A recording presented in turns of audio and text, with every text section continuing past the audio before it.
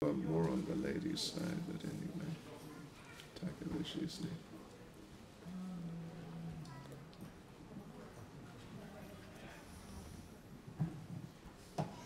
Hare Krishna. Hare Krishna. Om Namo Bhagavate Vasudevaya.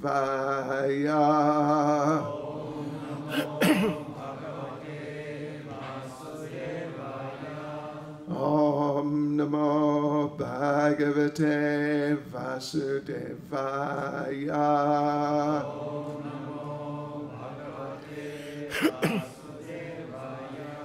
Om Namo Bhagavate Vasudevaya.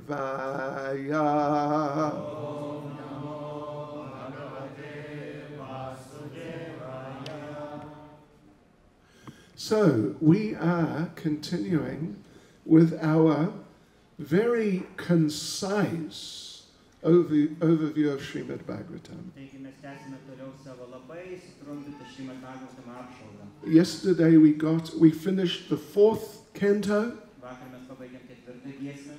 Uh, you know, I apologize if it was a bit too the word intense was used. Ir aš labai atsiprašau, jeigu a, seminaras buvo, kaip galima pasakyti, truputį intensyvus.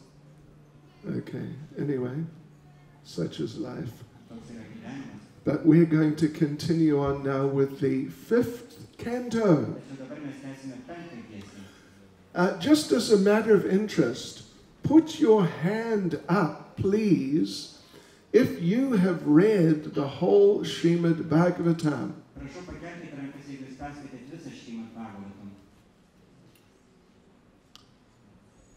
You haven't read the whole Srimad Bhagavatam.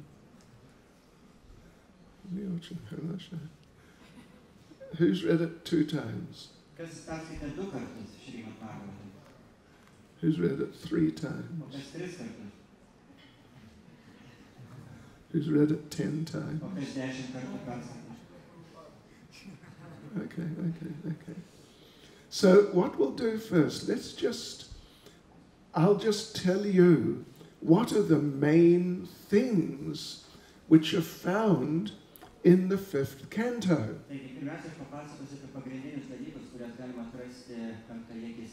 There are really, I would say, there's sort of like two or three main themes in the fifth canto. First of all, there's a discussion about King Rishabhadev, which we're not going to go into very much.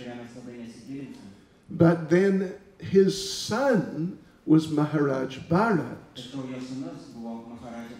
and we will discuss Maharaj Bharat. And then, then it's uh, Shukadev Goswami is, is generally speaking, and he then goes into a discussion about the sort of the, the structure of the universe in terms of different levels of planetary system. Ir toliau Šukadeva Gosvami kalba apie skirtingas įvairias a, visatos struktūrą ir skirtingas planetinės sistemas. Yeah. Uh, and, and he concludes the fifth canto, the very last chapter, is, is a particularly about the hellish planetary system. Ir paskutinis Bhagavatam penktos giesmės skyrius yra apie pragarinės planetas. Be- before that, for some number of few chapters, he talks about, oh, anyway, just different levels of planetary Ir So, anyway, now, first of all, like we said, first of all, there is Maharaj Rishabhadev, but we're not really going to talk much about him.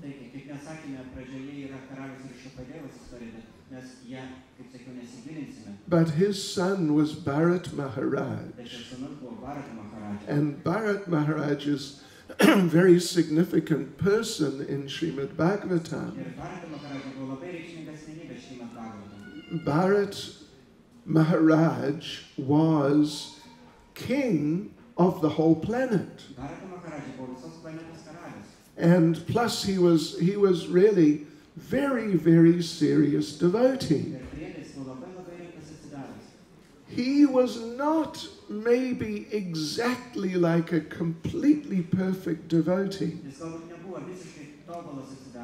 Jis galbūt nebuvo visiškai tobulas atsidavęs, although he was pretty close. nors buvo labai arti to. He was he was on the level of bhava, Jisai buvo bhavos pakopoje. which which is you know there there's bhava and then the next and top level of Krishna consciousness is prema. Tai yra bhavos pakopoje. Bet aukščiausias a, Krišnos sąmonės lygis yra prema arba meilė Dievui. And bhava, eh, anyway, we won't go into much detail, but it's like it is the beginning of prema.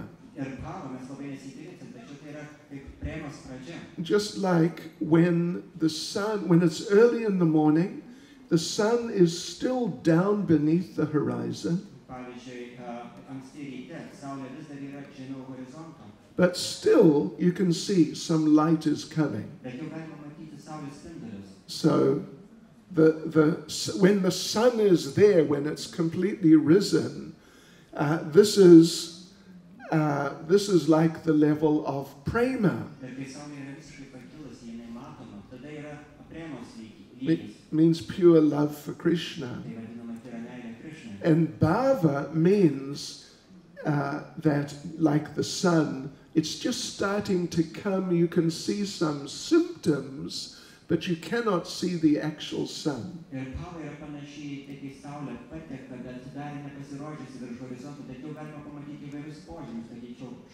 So, in other words, bhava really, you can say it is prema, or it's at least the, just the beginnings of prema,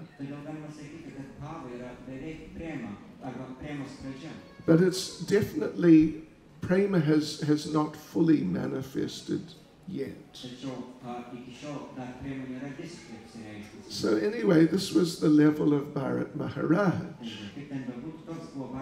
So, you know, he was, he was a very advanced devotee.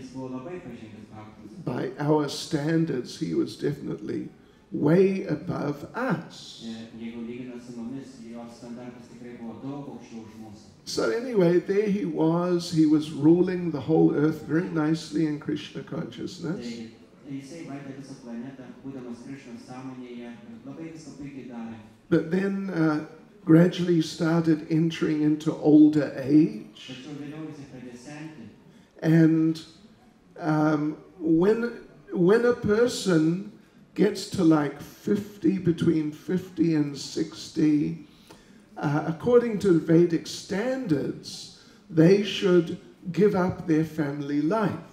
Ir kai žmogus sulaukia 50-60 metų, pagal vedinius standartus jis turėtų palikti savo šeiminį gyvenimą. Prabhupada would quote the famous Vedic little sutra Prabhupada cituodavo a, įžymę vedinę sutrą. Pancha Shordvam Vanam Vrajet. Pancha, Pancha means five. Pancha Shordvam means five times ten, fifty. Reiškia, pančia šutvam, penki reiškia, a, pančia reiškia penki, o a, na, penkis kartus po dešimt. Vanam means the forest. Ir vanam reiškia miškas. Vrindavan, the forest of Tulsi. tai yra tulasi So- Yeah, Pancha Shordvam Vanam Vrajet. Me- Vrajet means to go. So when you reach 50, go to the forest. Taigi, a, išvada tokia, kad kai sulaukėte 50, eikite į mišką. Any of you gentlemen, particularly 50 plus? Ir jeigu džentelmenams jau yra 50 su viršum, Anyway, nice forest just out there. a, labai gražus miškas, eikite į mišką. You can start there. Jūs galite pradėti nuo ten. So, anyway, he reached that point and he left everything and literally went to the forest. Taigi jis pasiekė šitą gyvenimo etapą ir tada jis tiesiog pareičiai paėmė ir paliko savo šeimą ir iškeliavo į mišką. And his idea was just now in this later phase of my life, just, just focus on my Krishna consciousness. taigi, a, šitą paskutinį savo gyvenimo stadiją aš turėčiau tiesiog susitelkti į Krišnos sąmonę. So off he went then, and in those days in the forest, there were many ashrams because it was just like practically everyone except the Sudras, practically everyone, when they reached that point in life, they go off to the forest.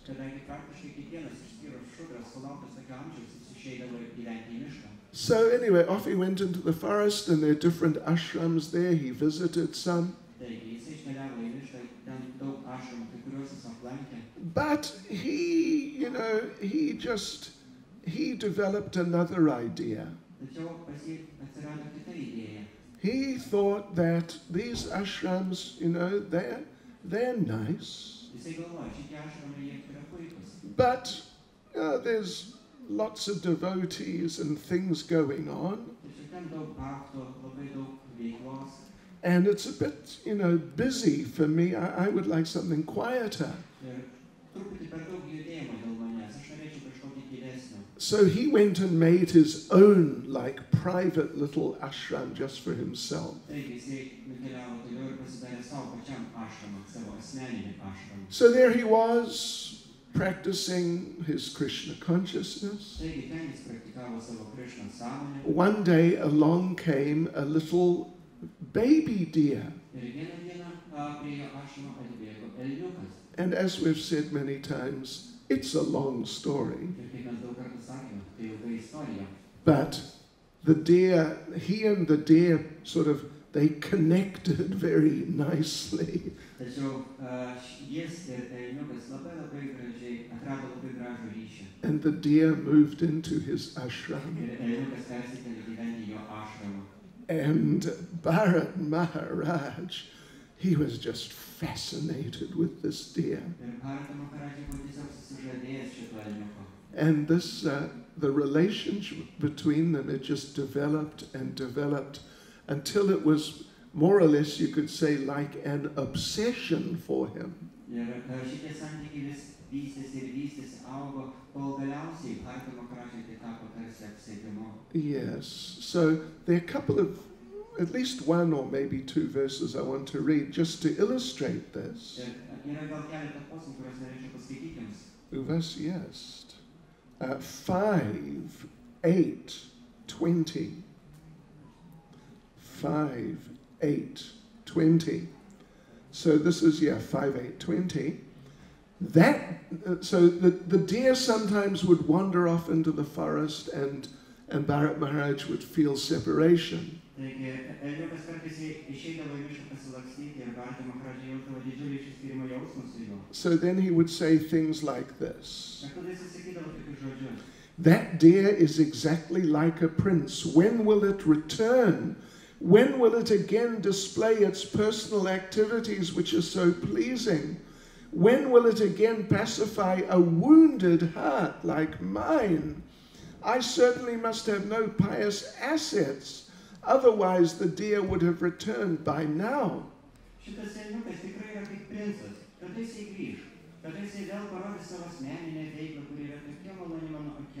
Kada jisai vėl nusiramins ir nuramins mano sužeistą širdį? Aš tikrai neturiu jokios veiklos rezultatų. Ir tokiu atveju šitas elniukas jau būtų sugrįžęs pas mane. It's nice to think of Krishna like that, Labai būtų gražu apie Krišną taip. but in this case, unfortunately, he is in Maya. Tačiau šiuo atveju nesėkmė, jis yra Marija. Let's just read the next verse too. Ir kitas kosmas taip pat.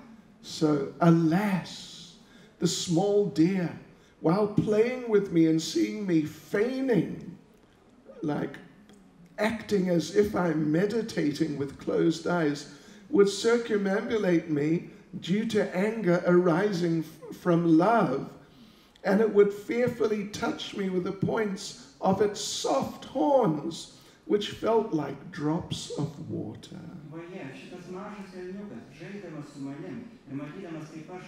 Vaje, šitas mažas elniukas, žaisdamas su manim ir matydamas, kaip aš vaidinu meditaciją užmerktomis akimis, jis vaikšto aplinkui mane, pykdamas uh, iš tyčio, kuri kyla iš meilės.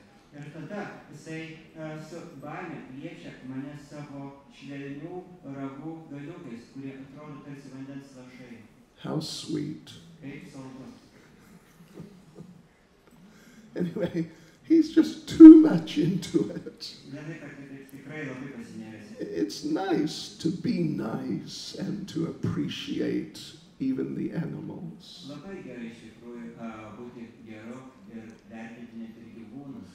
But you don't need to sort of fall in love with them. Anyway, I think many of you know the story. He, he was just completely captivated by this deer. He was, he was literally, you could say, in deer consciousness. Taigi jisai buvo taip susižavėjęs šituo elniuku, galima sakyti, kad jis buvo visiškai elniuko sąmonėje. And then the time of death came. Ir tada atėjo mirties metas. And in his next life, he got the body of a deer. Ir kitą gyvenimą jisai gavo elnio kūną. Yeah.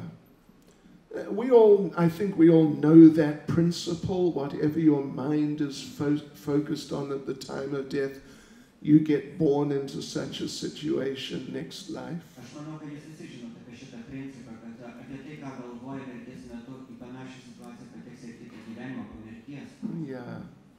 So here's classic example. Ir čia yra klasikinis pavyzdys. However, still he had some some recollection of his life as Bharat Maharaj.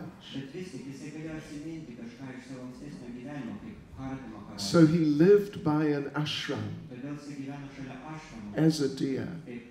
Yeah, and he was associating with the devotees all the time. And then in the next life, he was born as Jad Bharat. Again, it's a human birth, and he's he's very Krishna conscious, but now he's very careful. Tačiau dabar jis labai atidus. He learned a lesson the hard way. Jis išmoko savo pamoką labai kietų būdų.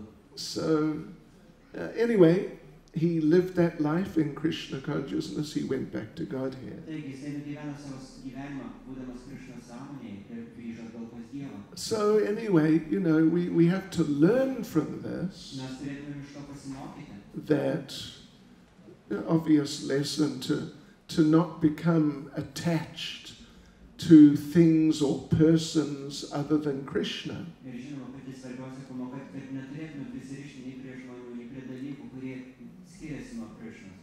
You know, it can happen. It can happen to anyone. You know, particularly in a household situation, these types of things are prone to happen. Ypatingai šeimos žmonėms tokie dalykai yra a, dažnai nutinka. So, uh, but one has to try and remember this, uh, the, uh, the, the message from this pastime with Bharat Maharaj.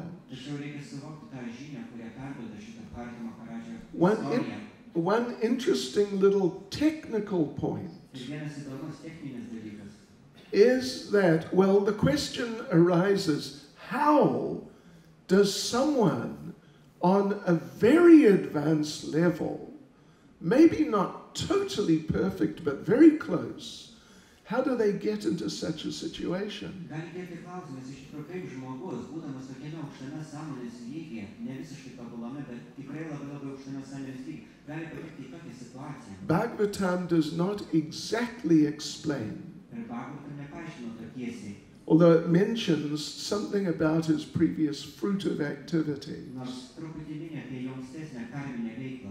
Jiva Goswami discusses this in Bhakti Sandarbha. Džyva Gosvami aptarė tai Bhakti Sandarbha. He's, he says that uh, even, even though we don't know exactly what caused it, but it must have been some type of offense. kas sukėlė puolimą, bet tai turėjo būti kažkoks įžeidimas. Uh, because when a person's on the level of bhava, uh, any reactions from their previous materialistic activities just when they were not devotees, all those reactions are completely finished sometime before. Ir jeigu žmogus yra pakopa, tai visa materiali veikla, kurią jis atliko dar prieš tapdamas pakopą. So it can't have been just some reaction to some previous sinful activity, just ordinary sinful activity.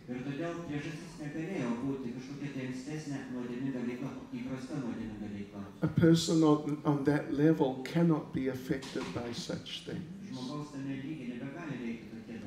But they can be affected by offenses. Offenses, can, the, the effects of offenses can still be there, uh, it- it- even, even if just very little, but they can still be there on the level of bhava. Ir įžeidimai net ir labai labai nedidelių lygių gali būti vis dėlto bhavos pakopoje. So, anyway, then the fifth canto goes on, like we said, to talk about different um, types of planetary systems. kaip jau sakiau, penkta Bhagavato giesmė toliau kalba apie įvairias planetinės sistemas. Um, subterranean heavenly planets. Different types of planetary systems. And then finally, in the last chapter, the hellish planets. And there, Shukadev Goswami talks about, he describes 28 uh, specific hellish planets. ten Šukadeva Gosvami aptarė 28 specifinės pragarinės planetas. Each one specifically designed to punish people who are focused on some particular sinful activity. Ir kiekviena iš tų planetų yra skirta bausti specifiškus nusidėlius už tam tikrą specifinę nuodėmingą veiklą. Let's just read a few couple of verses. First of all, 5, 26, 8. Pirmiausia, 5, 26, e, Am- 8. The whole chapter, you can read the whole chapter, and you know, all the 28 are there. But anyway, so this one says, uh, Shukadev Goswami says, My dear king, a person who appropriates another's legitimate wife, children, or money is arrested at the time of death by the fierce Yamadutas, who bind him with the rope of time and forcibly throw him into the hellish planet known as Tamishra. On this very dark planet, the sinful man is chastised by the Yamadutas who beat and rebuke him. He is starved and he is given no water to drink. Thus, the wrathful assistants of Yamaraj cause him severe suffering, and sometimes he faints from their chastisement. Mano brangus karaliau, žmogus, kuris pasisavina kito teisėtą žmoną, vaikus ar pilietį, yra suimamas mirties metu baisių jamadutų, kurie suriša jį vir, laiko virvėmis ir jėga nublaškia jį į pragarinę planetą vadinamą Tamiską. Šitoje labai tamsioje planetoje nuodėmingi žmonės yra kankinami šitų jamadutų, kurie muša juos ir visai ko neveikia. Jis badauja ir jam neduodame net vandens atsigerti. Tokiu būdu piktieji Jamaražės palidovai, padėjėjai, sukelia jam labai didelės kančias, o kartais jis nuolpsta nuo jų bausmių. Here is now verse 13. Ir dabar tri- 13 tekstas. For the maintenance of their bodies and the satisfaction of their tongues, cruel persons cook poor animals and birds alive. Such persons are condemned even by man eaters. In their next lives, they are carried by the Yamadutas to the hell known as Kumbhipaka, where they're cooked in boiling oil. Tam, kad palaikytų savo kūnus ar patenkintų savo liežuvius, žiaurus žmonės, jie verda varganus gyvulius ir paukščius gyvus. Tokius žmonės smerkia net ir žmogėtos. Kitą gyvenimą juos nuneša jamadutai į pragarą, vadinamą kumpipaka, kur jie yra verdami karštame aliejuje. Haribol, ecstasy. you can you can take your choice. Jūs galite pasirinkti. You can do a certain program of sinful activity Jis gali daryti kažkokią tai nuotolinės veiklos programą and go to some particular planet. ir keliauti į tam tikrą planetą. And as they say, have a hell of a time. Ir kaip sako, yra posakis, ar ne, a, turėkit pagarinį laiką. Anyway, yeah. It's, it's not nice. Don't go there. Ir geriau neikite. Okay, so now we go into the sixth canto. Taigi mes perėmėme prie šeštos giesmės. Sixth canto begins with Maharaj Parikshit in a state of shock. Šešta giesmė prasideda nuo Maharadžio Parikšito, kuris patiria šoką. Wow, these hellish planets, they're just incredible. You know, people should not have to suffer like that. So he asks Shukadev Goswami, what can be done to save the people from having to suffer like this?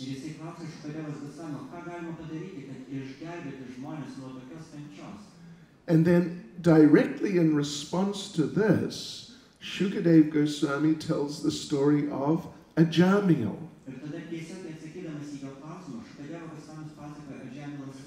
Uh, Let me just tell you in, in what there is that we're going to focus on in the sixth canto. E. Well, it's going to be um, Ajamil. And then following that, uh, the story of Chitraketu, who became Vritrasura. So these are the two main themes in the sixth canto. Okay, so like we said, Maharaj Parikshit was, was just shocked and, and so concerned. We, we have to help these people. Ir jisai taip susirūpino, mes turime padėti tiems žmonėms. So, so what can we do? What sort of program could be uh, given to these people to save them? Ką mes galime padaryti? Kokią programą duoti tiems žmonėms, kad jie išsigelbėtų?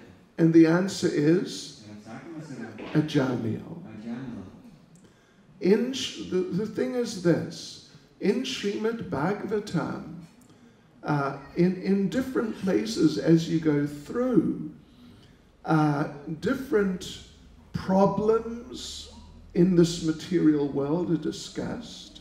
Jeigu matysime Šrimad Bhagavatam, yra aptarimas įvairios, per visas giesmės aptarimas įvairios materialaus pasaulio problemas. and then solutions to those Ir taip pat problems. pateikimi sprendimai šitoms problemams. Then certain, uh, like, very auspicious, nice activities are described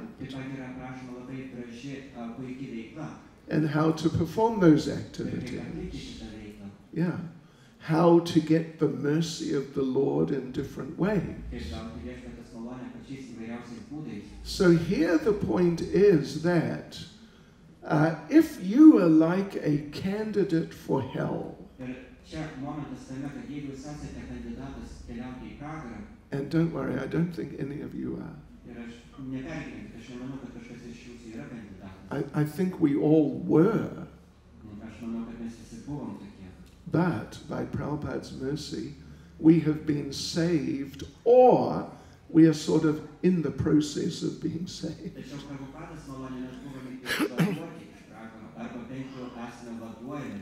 Tačiau Prabhupadas malonė mes buvome išvaduoti iš pragaro, arba bent jau esame vaduojami. Actually, you know, one thing Prabhupada said is that um, people who do not, people on this planet, who do not ha- have contact with devotees during their lives, Prabhupadas sakė vieną dalyką, kad žmonės, kurie per savo visą gyvenimą nesusilietė su bhaktais, yeah, no contact, just materialistic life.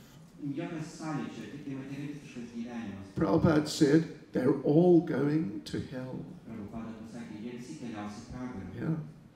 Because every day they're doing many very wrong things. Kadangi kiekvieną dieną jie daro labai daug neteisingų dalykų. every day, generally, they're eating meat. Kiekvieną dieną paprastai jie valgo mėsą. Often, many of them every day are taking quite a bit of intoxication And so on, like that. Yeah. Which means they're on their way. First class ticket. Na, na Aeroflota to, to the hellish planets. Okay. So, so, okay. So here now is the question. What, what is the best way to help such people? Taigi dabar toks klausimas, tai koks geriausias būdas padėti tiems žmonėms? And of course, as I think you know, the story of Ajamil illustrates that the best way is that they somehow chant the holy Ir names. vėlgi, a, kaip pažymė Kadžianovas istorija, kad pats geriausias būdas tokiems žmonėms išsivaduoti, tai yra kartoti viešpatės vardus. Uh, You know, again, it's a long story, of course. Ir vėlgi, žinoma, tai yra ilga istorija. But basically, Ajamil was, you could say, he was like a real creep. Bet iš esmės, Kadžianovas buvo tikras nevykėlis. Anyway, he was a sinful rascal. Jis buvo nuodėmingas nenaudėlis. Kak, what would you say? Negade, Negalėjai. first class. Pirmos klasės negalėjai. Quailus negade, Bilingual. Yeah. So, you know, you, it would be difficult to find a better example of someone just caught up in material life.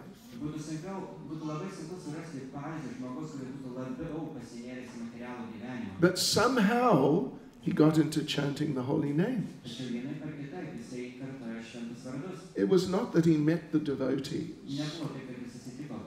and they uh, preached to him and they convinced him and he started chanting 16 rounds. Ir jis pradėjo kartoti 16 ratų. I don't think he ever chanted 16 rounds. Aš nemanau, kad jis kada nors kartojo 16 ratų. But somehow he ended up chanting the holy name. He, uh, in his late, in his older age, he was married to, to also a very low class woman. Ir savo senatvėje jisai uh, buvo vedęs labai žemos klasės moterį. And, uh, but in their older age, they gave birth to a son. Tačiau jau senatvėje jisai uh, uh. And they just decided to give him the name Narayan. Ir jie nusprendė suteikti tam vaikui vardą you know, why Narayan? Because it was just a popular name in, in that society, in that culture. Like if you're Russian, you'll call your son Sergei. Right. That's a pravda, yes, Ili Masha. It's just because, but in America they don't call their children Sergei. Tačiau Amerikai savo vaikų jie nevadina Sergejai. It's just, it's the local culture. Tai tai ten vietinė kultūra. So it was just, these are kind of like Vedic times, and it was just the culture. You, you give your children such names. And they still do it in India. I was, actually, I was in Mauritius, which is very, it's almost like part of India, majority Indian population. And I met one young fellow. I asked him, What's your name? And he said, My name is Krishna. And I said, Oh, I've been looking for you for years. But he was a different Krishna, not that Krishna. Ah, disappointment. Rasa Charavanya. Anyway, so, so it was just the culture. And they just gave him that name, just why not? Not because it's a name of God and it'll be very good for him. Taigi, tokia kultūra ir davė jam tokį vardą, ne todėl, kad tai būtų Dievo vardas. Yeah. So then, uh, every day, all day, they're calling out, Narayan, come here. Narayan, where are you? Narayan, stop what you're doing.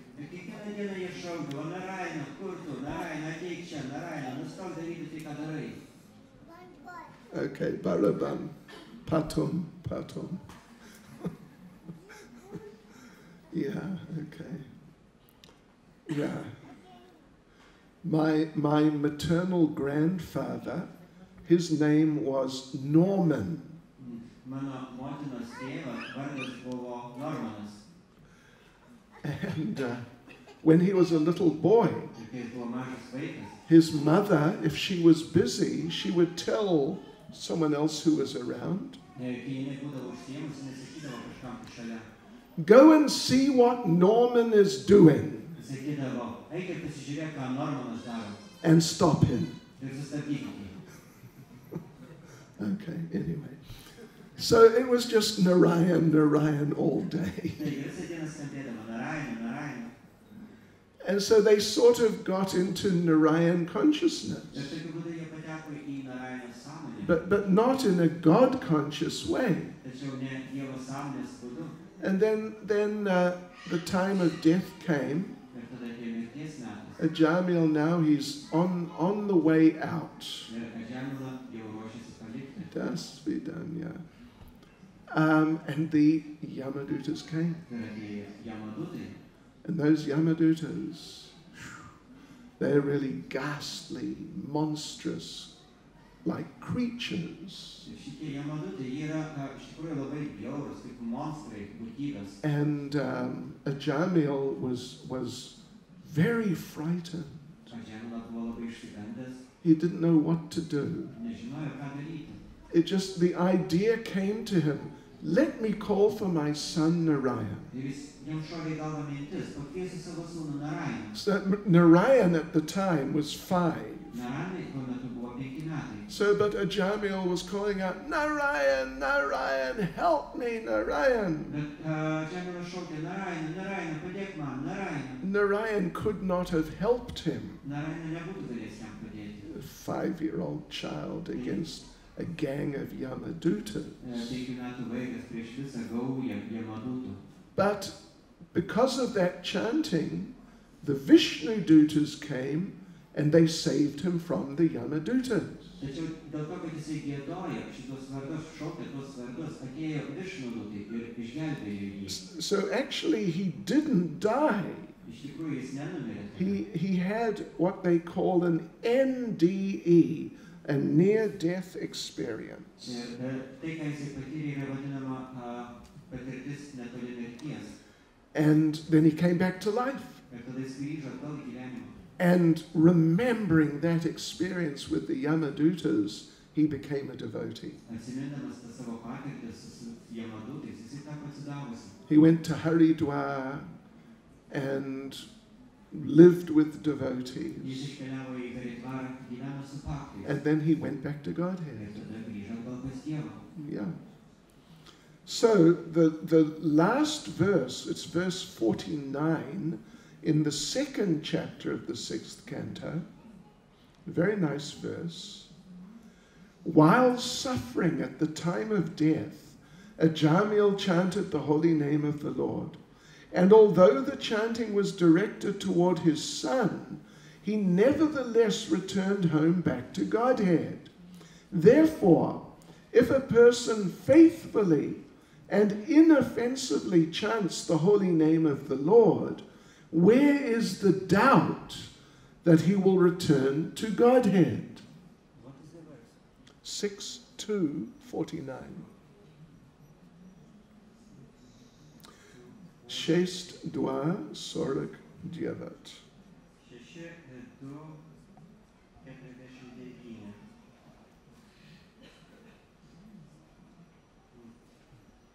Kentėdamas mirties metu Adžianas gėdojo šventą viešpatės vardą ir nors jo gėdojimas buvo nukreiptas į savo sūnų, vis dėlto jis grįžo atgal namo, atgal pas Dievą.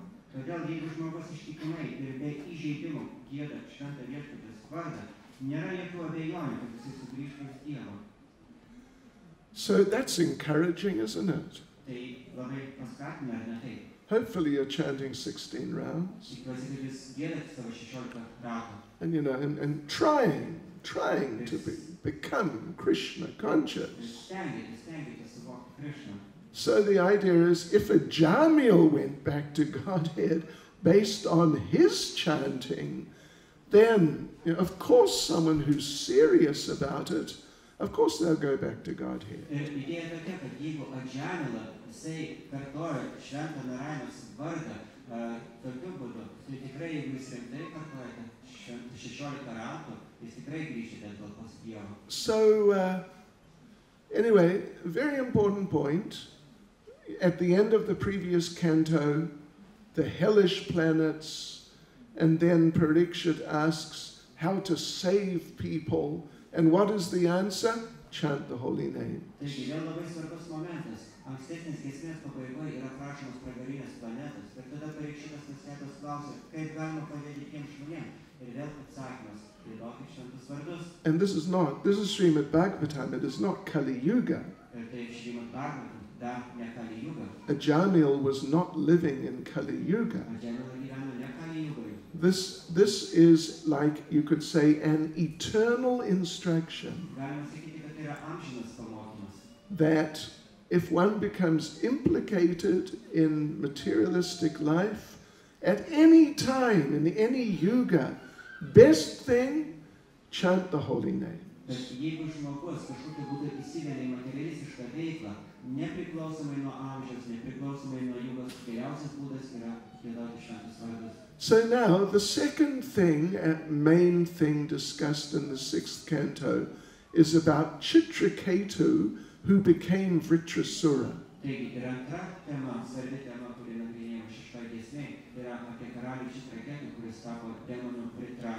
Now, just to complicate things slightly, um, Vritrasura is discussed first, and then Chitraketu and how he became Vritrasura is discussed later.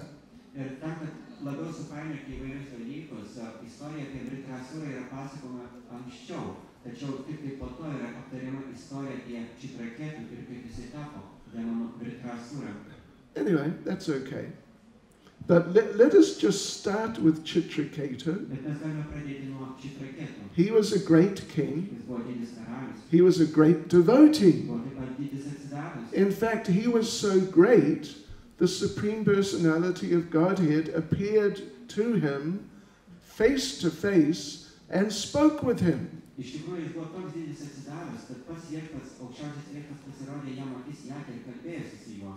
Iš tikrųjų, jis buvo toks didis atsidavęs, kad pats viešpats, aukščiausias viešpats pasirodė jam akis į akį ir kalbėjosi su juo. He has not done that with any of us. Ir jis to nepadarė nei su vienu iš mūsų. At least I can say he has not done it with me. Bent jau galiu pasakyti, kad jis taip nepasielgė su manim. Any anyone here? Ar kad su kuo nors pasiekė taip? Anyway, Etta Shutka. I, I know he hasn't done it with any of us. Aš manau, kad su jumis ir patys taip nepasielgė. I mean, maybe you've had a dream or two or something. That's nuts. But this is this was not a dream. bet tai nebuvo sapnas. It's like we're sitting here, we're face to face. Tai lygiai taip pat, kaip mes sėdime, žiūrime vienas į kitą. We can talk to each other Galime pakalbėti vienas su kitu. exactly like that. Ir lygiai tokiu būdu. So now, even though that was the case and Chitraketu was just such a great personality and great devotee,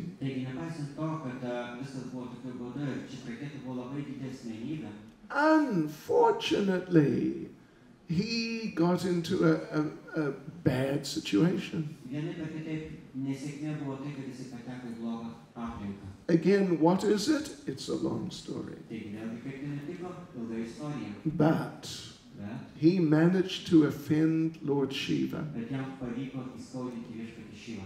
Or, yeah, well, he say, yeah, he kind of offended Lord Shiva, but Durga, the wife of Shiva, she felt offended. Iš tiesų jis negalėjo išeiti viešpatį šylą, bet Durga, jo žmona, jinai pasijuto įžeista. And uh, Yeah, I mean, it's, it's a very interesting discussion, actually. He is very great transcendental devotee, at least on the level of bhava. When, when Srila Vishwanath Chakravarti Thakur talks about Chitraketu, he talks about him like he's on the level of prema.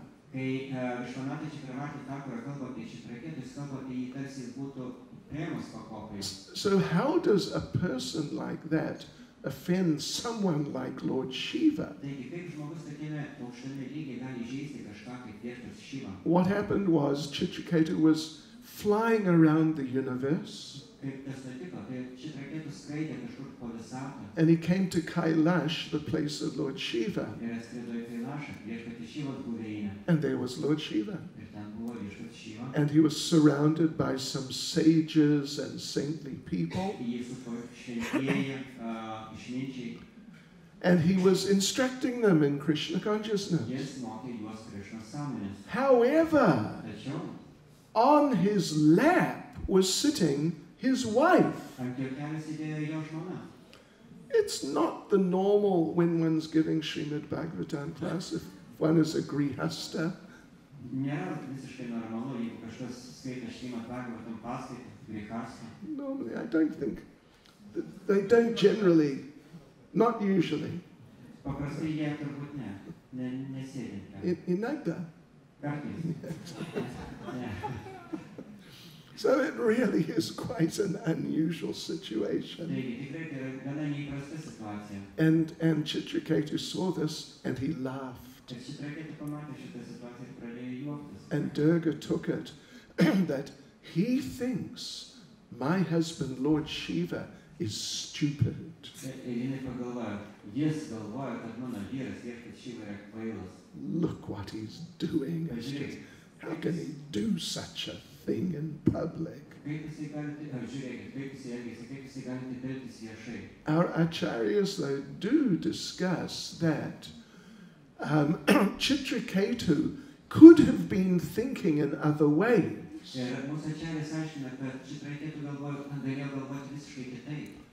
Because because he's such a great devotee and he knows who is Lord Shiva. So, like just one one other possible explanation. Um, Chitraketu saw him, and he may have thought that if the materialistic people heard about this, oh, they're going to react in, in some crazy way. Jisai galvoja, kad jeigu materialistiški žmonės pamatytų tokią situaciją, tikrai reaguotų labai labai beprotiškai. Oh, these materialist people, materialist people, they're just too stupid. Ir jis pradeda juoktis, sako, ką, šitie materialistiški žmonės tiesiog pernelyg kvaili. And he may have just laughed at the stupidity of the materialistic people. Anyway, uh, she cursed him to become a demon. Ir kaip ten bebūtų, jį prakeikė, kad jisai taptų demonu. And the way he responded to that curse is, jis atsiliepė į šitą prakeikimą yra is really quite amazing. labai iš tikrųjų nuostabus. This is now 6, 17, 28. 6, 17, 28. Yeah. Uh, it's actually a very famous verse. Well, he reacted, the way he reacted was like, okay, all right. And he just turned around and just walked away. I accept your curse. Similar to Parikshit, if you remember from yesterday. He was offered, we can take away your curse. Jam siūlė, mes galime a, pašalinti iš tavęs tą prakeikimą. But he said, no, no, it's the will of the Lord, I'll accept it. jisai pasakė, ne, ne, tai viešpatės savo aš priimu ją. So Chitraketu just said, accepted, okay, you've cursed me, all right. Ir šis prakeikė taip pat pasakė, tu mane prakeikai, viskas gerai. So then when he walked away, tada, kai jisai nuėjo šalin, Lord Shiva, observing this, he said to, uh, Uh, Parvati. Žmonai Parvatį. Narayana Parasarve Nakutasjana Bibyati Swargapa Varga Narakeshu Apitulyarta Darshana. Devotees solely engaged in the devotional service of the Supreme Personality of, God, of Godhead Narayan never fear any condition of life. For them, the heavenly planets, liberation, and the hellish planets are all the same. For such devotees are interested only in the service of the Lord. Viešpatis atsidavusi, kurie užsima vien tik atsidavimo tarnystę aukščiausiam Dievo asmeniui, Narainai, niekada nepatiria jokių baisių gyvenimo sąlygų. Jiems rojinės planetos, išsivadavimas ar net fragalinės planetos yra tas pats, nes tokie atsidavusiai domisi tik tai tarnystė viešpačiui. So, so he then, his body transformed into the body of Vritrasura, gigantic, demoniac, horrible looking body. But his consciousness remained as Chitraketu.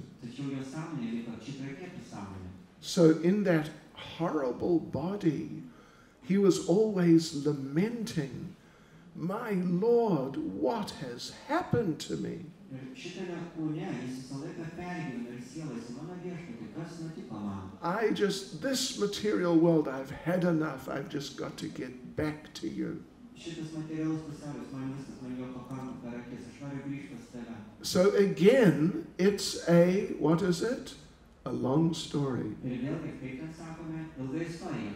But he ended up fighting with Lord Indra. Bet visas baigėsi tuo, kad jis kovė su, su Indra. And he was almost defeating him, Ir jis beveik nugalėjo Indrą. but not quite. Tačiau ne visiškai. And, and it was really taking some time. Tam tikrai reikėjo labai daug laiko. And eventually, Vritrasura said to Indra, Will you hurry up and kill me?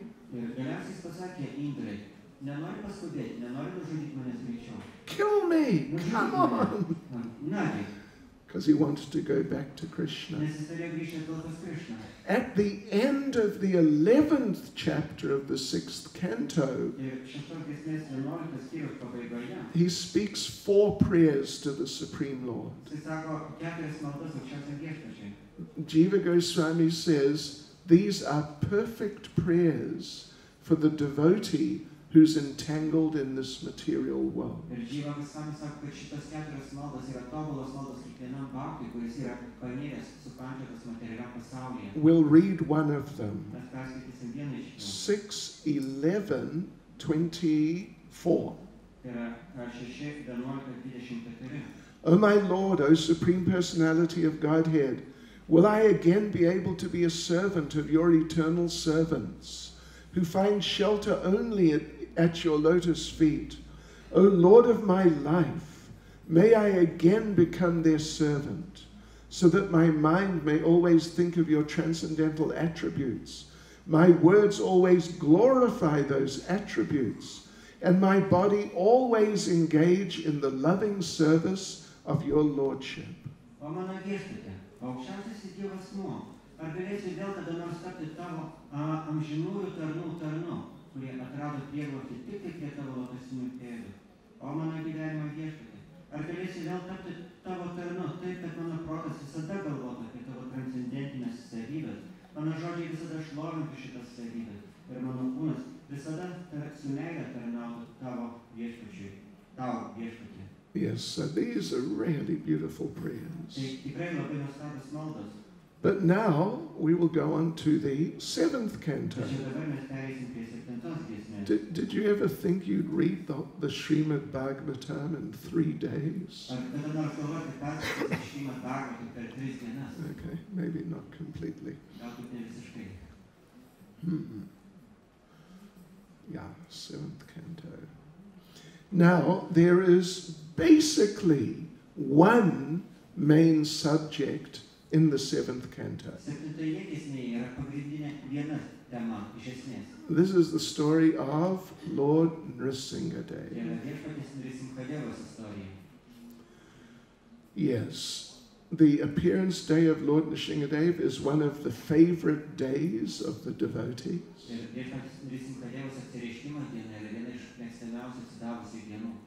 Yes, the appearance day of Lord Nrsingadev, disappearance day of Hiranyakashipu. Tai yra Nrisimchadevos apsireiškimo diena yra Hiranyakaščių pasitraukimo diena.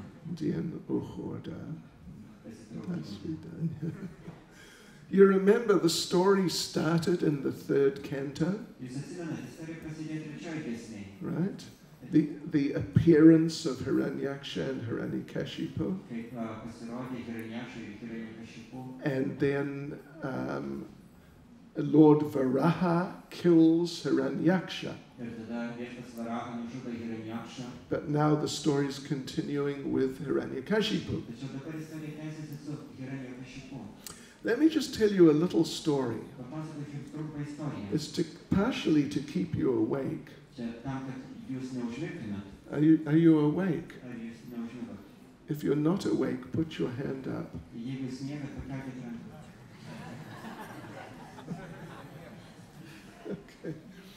Many years ago in Novosibirsk, the devotees put on a very extraordinary drama of the appearance of Lord Nrsingadev. Prieš daug metų Novosibirsko partijoje padarė labai nuostabią dramą apie viešpatės Nrisimchadevos apsireiškimą. You should have seen it. It was just something else. Turėjot pamatyti tai, tai buvo kažkas tikrai kitko. One elderly Mataji was Lord Nrsingadev. Tai viena sen- senyva moteris buvo viešpats Nrisimchadevas. Elderly, little bit sort of, you know. Tokia senyva ir tokia kažkiek apkūnė. In South Africa, they would say healthy.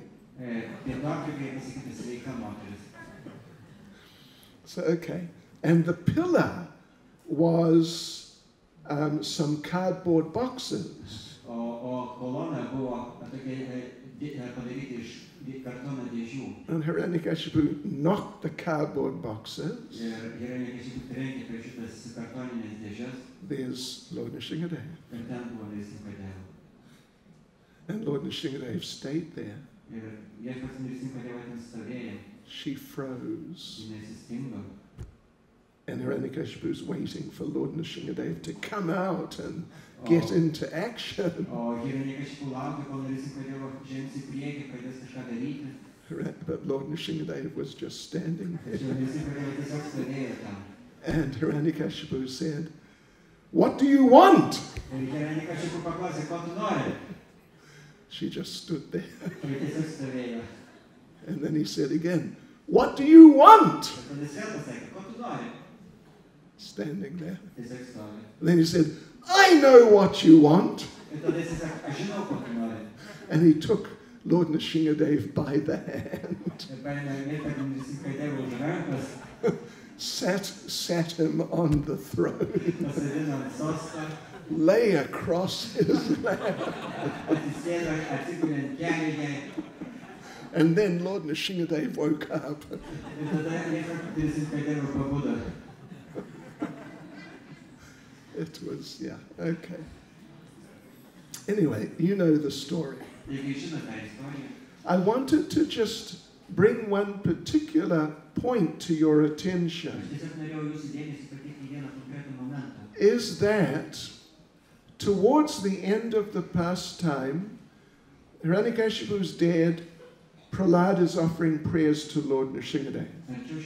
Arčiau šitos istorijos pabaigos Hiranikašipu jau miręs ir Prahlada Maharajai sako savo maldas viešpačiai Nrisimchadevui. And uh, Lord Nrsingadev, he's very pleased with Prahlad and he says, uh, Tell me what you want, I want to give you something. Ir tada Nrisimchadevo patenkintas Prahlados maldomis jis sako, prašyk manęs ko nori, aš išpildysiu tavo norą. Means something material, actually. Tai iš tikrųjų reiškia kažką materialaus. And uh, Prahlad understands that.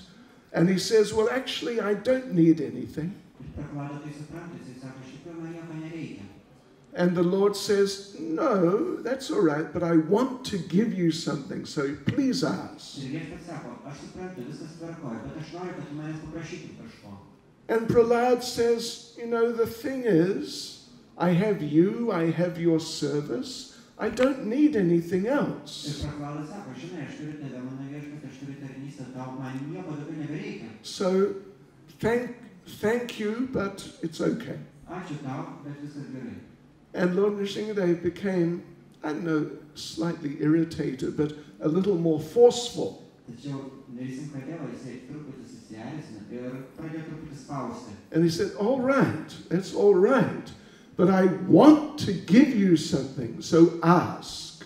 Ir tada jisai pasakė, gerai, viskas gerai, bet aš noriu, kad tu manęs kažko paprašytum, todėl prašyk. And Prahlad preached to Lord Nrsingadev. Ir praklada pradėjo pamokslauti Nerisimka He said, You know, the thing is, I am your servant, you are my master. Ir jisai sako, žinai, tu esi mano šeimininkas, aš esu tavo tarnas. If to get me to serve you, I must be given something, it means I'm not really your servant.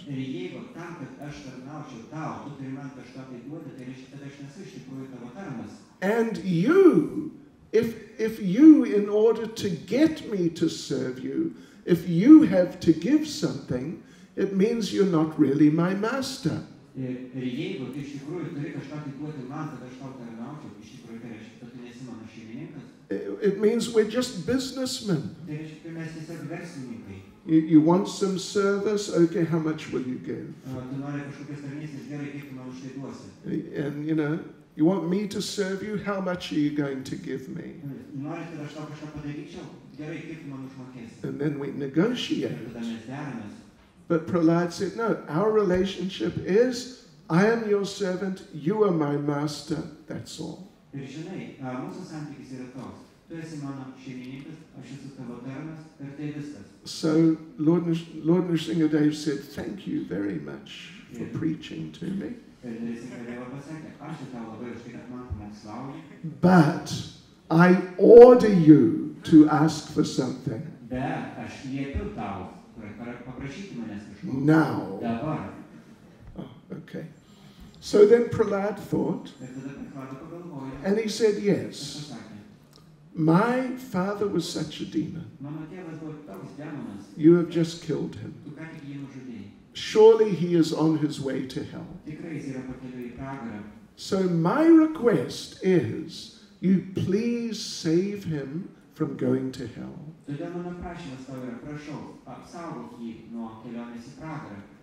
In this way, we see the character of Prahlad. Tokiu būdu mes matome Prahlados charakterį. We already, already saw the character of Hiranyakashipu. jau matėm gerai Nekašikų He's- He's ready to kill his little five-year-old child. Jis yra pasiruošęs nužudyti savo mažą penkių metų amžiaus vaiką. Prahlad did nothing against him. Prahlada nieko jam blogo nepadarė. He just had some attraction to the enemy of Hiranyakashipu. Jis tiesiog jautė potraukį, tai yra Nekašikų priešai. He never tried to attack Hiranyakashipu, Niekada nesistengė užpulti tai yra Nekašikų. but still Hiranyakashipu was repeatedly trying to kill him. Bet vis dėlto yra Nekašikų ne vieną kartą bandė jį nužudyti. But now finally Hiranyakashipu's dead. Tačiau dabar galiausiai yra Nekašikų miręs. And Prahlad, you know, he could he could have a festival. Ir Prahlada turėjo daryti festivalį. Ah, the demon is dead, let's have a feast. Taigi demonas mirė, galim švęsti. But he, he didn't feel like that at all. Bet jis visiškai taip nesijautė. He just felt compassion for his very demoniac father. Jis jautė didelį užuojautą savo demoniškam tėvui. So, yeah. So, but then, then uh, um, Lord Nrsingadev said, you don't need to worry about your father. He's already liberated. Because you are a pure devotee, he's already liberated. And not only him, but 21 generations of your family in the past.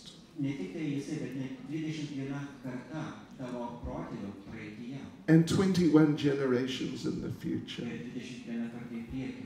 You know, there is, it is somewhere, I can't remember offhand, there is a presentation of, depending on what level a devotee is, how many generations of his or her family they deliver. Mačiau tokią nebeatsimenu kada, kurioje buvo vaizduojama, kaip priklausomai nuo jūsų atsidavimo lygio, kiek kartų jūsų protėvių ir ateities kartų bus išvaduota. So if you are a devotee from Vilnius, Jeigu jūs esate atsidavę iš Vilniaus, shall we say a normal devotee, sakykime, jūs esate normalūs faktai. yeah, then you, some number of generations of your family are at, at least in the process of being liberated. Kai kurios kelios jūsų atsi- a, giminių kartos bent jau yra išsivadavimo kelyje. Okay, let's go on to the eighth canto. Galime persikelti į aštuntą Bhagavatų giesmę. And in the eighth canto, Ir aštuntoje giesmėje. um, the well, first, there, there are two things really.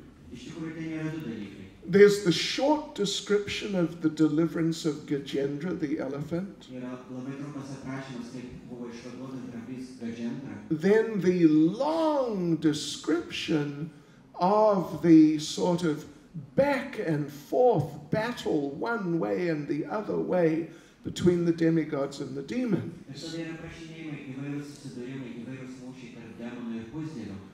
During the course of which Mo- the Lord appeared as Mohini, and later the Lord appeared as Varaha. You know, actually, it's a very interesting and sort of dramatic story. Uh, we're not going to go through the details.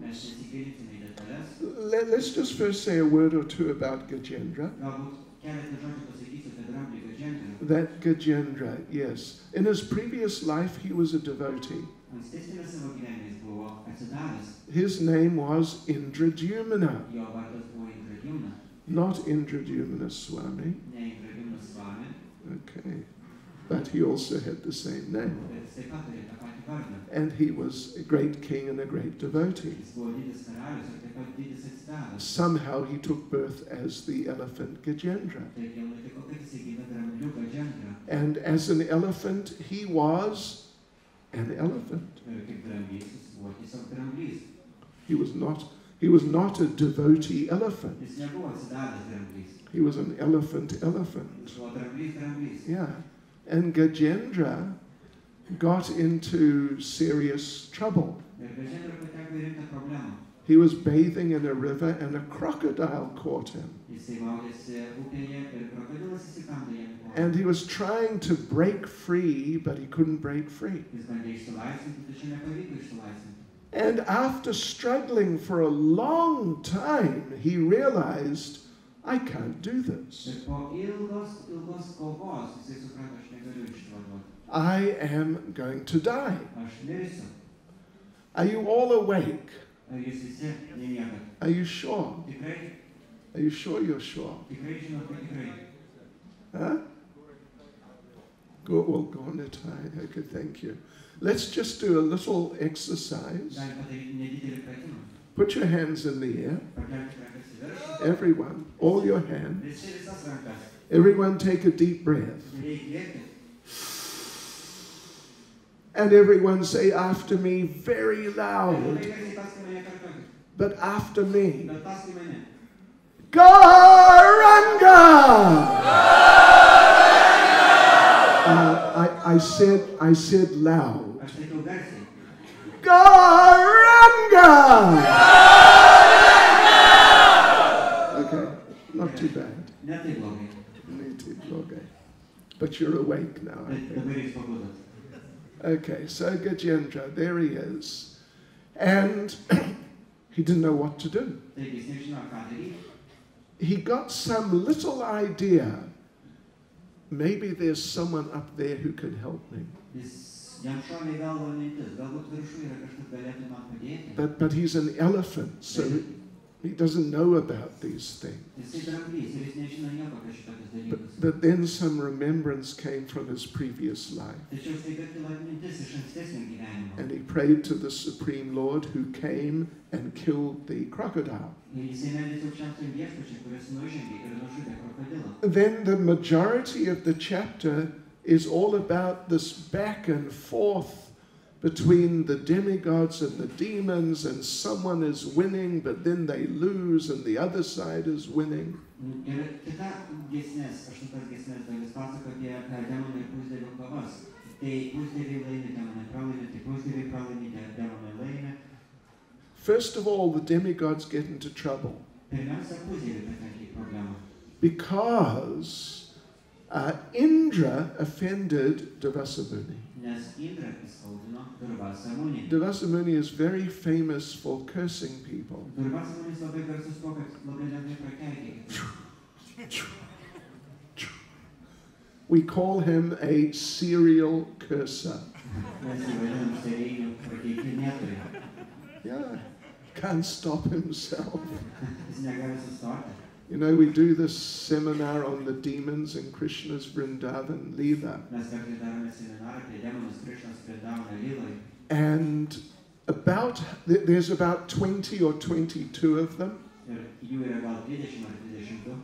Half of them became demons because they were cursed by Durvasa Muni. Ir pusė iš jų tapo demonais dėl to, kad juos prakeikė Durvasamunį. Seriously, uh, he's into it. Taigi jam patinka tai. So Indra, what Indra? Well, Durvasa Muni gave Indra a Mahagalan Ir Indra davė Durvas, a, tai yra Durvasamunį davė Indrai savo Mahagirlandą from himself. Indra took the garland, Indra paėmė girlandą hung it on his elephant. ir pakabino ant savo dramblio. He was riding on his elephant. Jisai jojo ant dramblio. That was a mistake. Ir tai buvo klaida.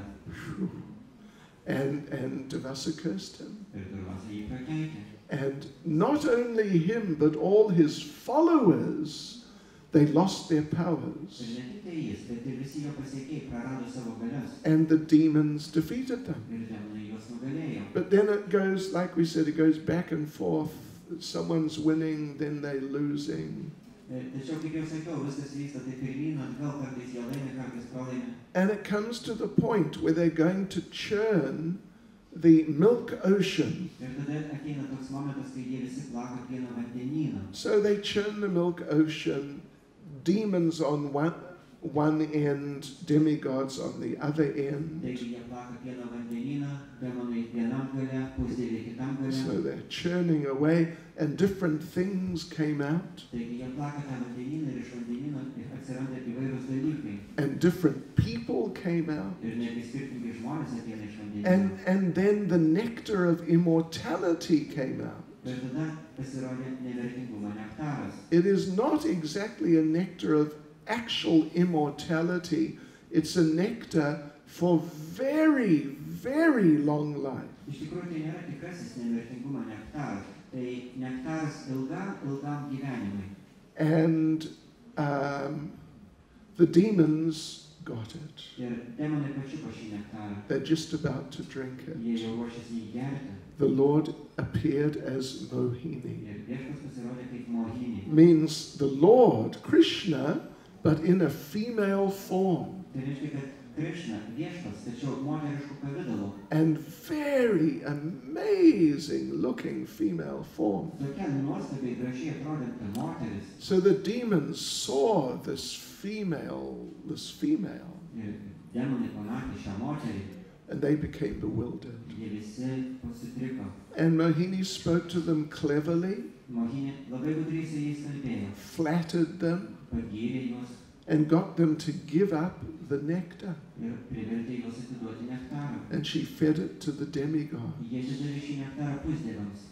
And the demons were so bewildered they didn't realize what was going on. O demonai buvo tokie paklydę, kad jie net nesuvokė, kas vyksta. But one of the demons realized what was going on. Tačiau vienas iš demonų, demonų suvokė, kas vyksta. That was Rahu.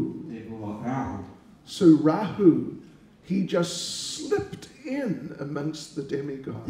Rahu įsmuko tarp pusdievių And they're passing around the nectar, everyone's taking some. ir visi jie dalinasi nektarą, siunčia vienas kitam. And, uh, and he took some. Ir jisai taip pat išgėrė truputį. But as he was taking it, as he was in the process, Surya and Chandra recognized him. Tačiau kai jisai gėrė šį nektarą, Surija ir Čandra jį atpažino. Sun god, moon god. Saulės dievas ir Mėnulio dievas. And so they raised the alarm. Jie sukėlė triukšmą. And Mohini cut off the head of Rahu with her Sudarshan chakra. So the, the, the nectar, Rahu had drunk some nectar. It was still in his mouth. It hadn't gone down like into his digestive system. So his body died. His head didn't die. And his head is still floating around in space. Ir jo galva vis dar tebe plaukia į erdvėje. And when there is an eclipse, the understanding is that the head of Rahu is now blocking whether it's the sun or the moon, whatever is being eclipsed. Ir kiekvieną kartą, kai vyksta užtemimas, yra suprantama, kad Rahu galva užstoja ar Saulė ar Mėnulį, priklausomai nuo to, kieno užtemimas. So you can see tonight. Ir jūs galėsite pamatyti šiandien. Apparently, it's going to be visible from here, Panašu, kad jis bus matomas iš čia. like 10 o'clock tonight. Galbūt apie 10 val. vakaro. Okay. Okay, and anyway, things went on from there. Taigi, viskas judėjo toliau nuo tos vietos. And, you know, like we said, it goes back and forth. Kaip mes minėjom, viskas judėjo pirmyn The, the demons got the nectar, so they got, you know, special Shakti. Mhm. I mean, the demigods. Ta pusdievė jie gavo, ypat- gavo šitą nektarą ir jie gavo ypatingą galę. But then the, de- the demons defeated them. Tačiau demonai Life is like that in the material world. Someone is on top, then they're not on top. So, yeah, Bali Maharaj and his demon associates, they took over the, uh, the universe. Bali Maharadžai ir jo palidovai, jie užėmė visą visatą. And the demigods got kicked out, they became homeless. Ir pusdievė buvo išmesti lauk, jie tapo benamiais. Pa, uh, Paruski Kakya Slishal, Slushal, Slishal, Bomj. Bomj, yeah, Bomj. They were just floating around the universe, hiding behind clouds. Yeah. so the mother of the demigods, Aditi, became very disturbed. And she prayed to the Lord that you please appear and you take back the uh, universe from the demons. Ji meldėsi viešpatį ir prašė, kad jis atimtų visatą iš demonų. So the Lord appeared as Vamana. Ir viešpas apsire- apsireiškė Vamana Devas pavidalu. And Lord Vamana, he, uh, he asked Bali Maharaj, the king of the demons, for three paces of land. Ir Vamana Deva paprašė, kad Bali Maharadža, kad šis paukotų jam tris žingsnius žemės. And he took those three steps, Jisai pasėmė šitos tris žingsnius. but he expanded his body. Jisai žengė tuos tris žingsnius, bet jis išskleidė savo kūną. He was just small boy dressed as a brahmachari. Jisai buvo tiesiog mažas berniukas apsirengęs kaip brahmačaris. But he expanded, and with his first step, he covered the lower and middle planetary system. Tačiau jisai taip išplito, kad pirmais dviem žingsniais užėmė žemesnės, a, vienu žingsniu užėmė, a, apėmė žemesnės planetinės sistemas, Second step covered the higher planetary o system, antrasis žingsnis užėmė visas aukštesnės planetinės sistemas. and that's all there is. Ir viskas, kas yra. There's nothing else in the universe. nebėra nieko daugiau visatai. And so the Lord protested to Bali Maharaj. Ir a, Viešpas paprieštaravo Bali Maharadžiui. You said you'd give me three steps of land, you've only given me two. Tu man pažadėjai duoti tris žingsnius žemės, bet davė tik tai du.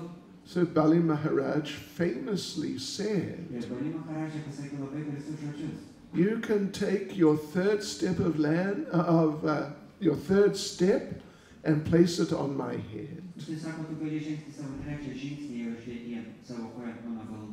And in this way, he surrendered completely to Vamanadev. Ir tokiu būdu jis visiškai atsidavė Ma- Vamano Devai. And you know, there's the nine processes of devotional service Žinote, egzistuoja devyni atsidavimo tarnystės procesai. Shravanam, Kirtanam, Vishnu, Smaranam, etc.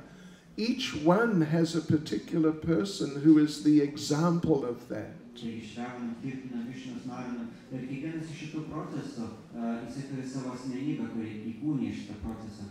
First one is hearing, the example is Parikshit. Pirmasis procesas yra klausytis ir pavyzdys yra pareikštas. Second is chanting, the example is Shukadev. Ir antrasis yra gėdoti ir pavyzdys yra šukadėva. Last one is surrendering everything. Ir paskutinis yra viską atiduoti. The example is Bali Maharaj. Pavyzdys yra Bali Maharadžia. Hare Krishna. Granthraj Srimad Bhagavatam Ki. Srila Prabhupada Ki. Go Premanande. Oh, okay. Yeah, okay, that's all. But we have some of our books here. Taigi viskas yra viskas, bet mes dar turime savo knygų. Paruski, look, Govardhan. Home is Paul Nayushi Visya troškimus. Vrindavan, Miesta Igra Gospoda. She, they should see Mataji, yeah? You can see there she is standing up, Mataji Harinam Chintamani there, and you can get some books from her. ir galite iš jos įsigyti knygų. Hare Krishna. So we will gather here after tomorrow, Taigi mes čia susirinksime poryt, after after that. Same time, tuo pat metu, but after tomorrow. And we'll complete the rest of the Bhagavatam. mes užbaigsime visą likusią Bhagavatam dalį. Hare Krishna. Jai. You know, I want to ask you something. I wanted to, but the other days, but